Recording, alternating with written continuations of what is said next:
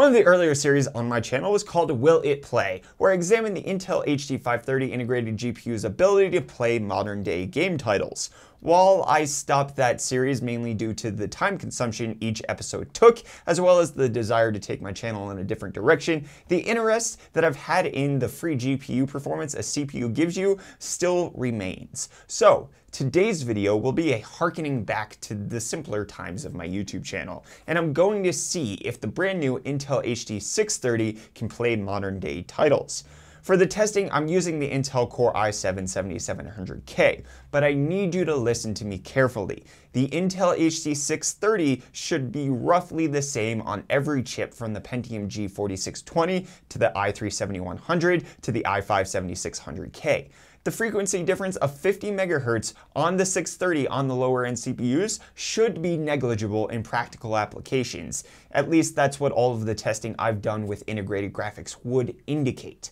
I've attempted to overclock the HD 530 before and it made little impact on overall performance. Also, the Pentium should perform roughly the same as the i7 simply due to the fact that the GPU is what's limiting your performance here not the CPU. If you want to see how a four-threaded CPU affects gaming performance, check out my video right over there. Here's the important bit though. While the CPU shouldn't affect your frame rates too much, your RAM configuration that you're running will. To get the best performance out of your iGPU, one, you need to be running your RAM in a dual channel configuration, so make sure you have two sticks.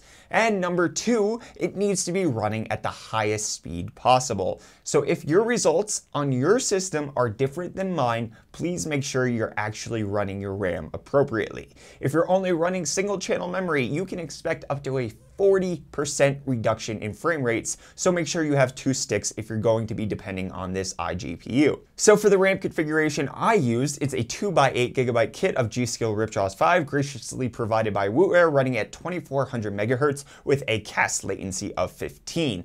As far as the games that were tested, I attempted to get a mix of AAA titles and more competitive games in the fold. And rather than read off a list of FPS numbers for this video, I decided to record the experience so you can see what it's like.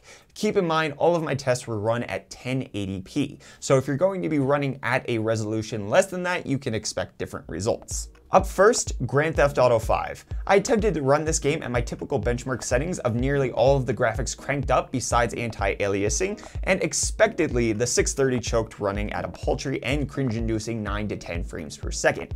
However, once I dropped the settings to as low as they go, the game became a playable high 20 FPS average. Not the greatest, but certainly enough that you can still rock some GTA 5 while you wait for your new GPU to arrive in the mail.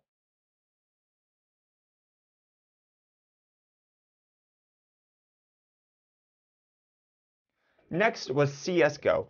I left most of the graphical settings turned up just to see initially what to expect. And honestly, it wasn't too bad. Floating anywhere from 30 to 60 FPS made it a completely usable setup. Dropping the settings to about as low as they go produced an over 60 FPS average, which means you can get the buttery smooth action you want, just with less visual fidelity. Doom, on the other hand, don't just don't. Dropping all of the visual settings yielded a 12 to 15 FPS average, which allows you to aim better because the game runs at a slower pace, but honestly is too bad for me to want to play. It's a far cry from the 60 FPS goodness that you'll need to actually enjoy this high energy game. The Witcher 3 is a similar story, but even worse performance. 10 FPS average. Buy a graphics card, even an RX 460 will help you out a lot here.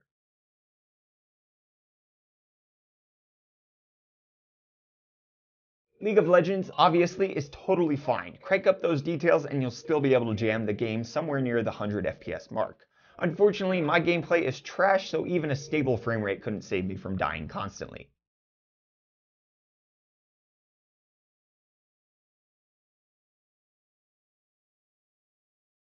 Overwatch, the last competitive title on my list, at lowest settings, 1080p, is playable.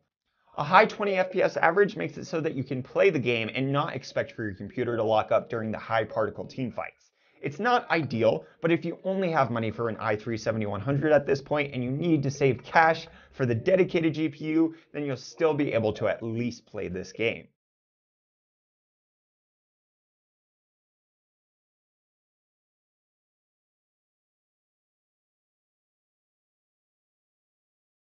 And then finally, the game everyone has been waiting for. The question that I know you have been asking repeatedly since this video began, the one that's been making you beg for me to just skip the rest of the games and get to it already, can the Intel HD 630 run Crysis? Well, at the lowest settings possible, at 1080p, possibly? It's not the worst frame rate I've ever played a game on, I can assure you of that. I remember the days of playing full games of Team Fortress 2 on my desktop's Intel Graphics Media Accelerated chip, and basically only seeing half of the action at any given moment. Unfortunately, on the realistic side of things, if Crysis is your jam, then it'll be a rough experience. However, I will say that it's encouraging that GPUs that come bundled with CPUs can even entertain the discussion of running Crysis at this point. It's not a perfect solution, admittedly, but there's definitely a lot to respect about the new integrated graphics chip bundled with Kaby Lake processors.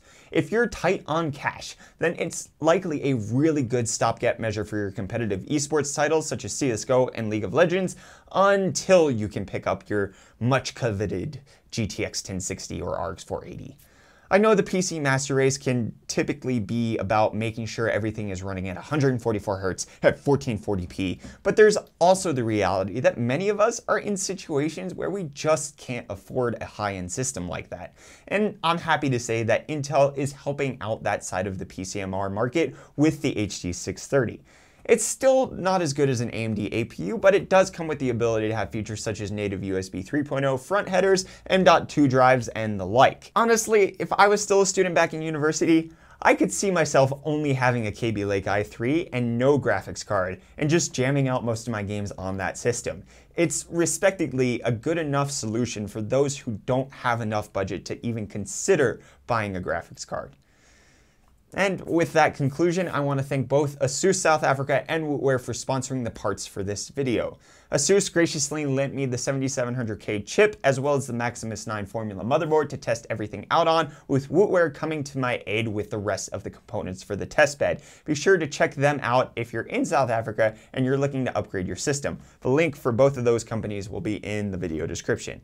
And that's going to make do for today's video. Be sure to let me know how you felt about the video with a like or a dislike. Leave a comment down below about, you know, what you think of Intel's new integrated GPU. Is it a good enough solution for you if you're waiting to buy a graphics card later? Or is it even good enough for you to just have as your primary graphics card for the foreseeable future? Let's have that conversation down below. Be sure to subscribe if you're new around here to stay up to date on all of my tech related content, and I will see you guys in the next video. Cheers.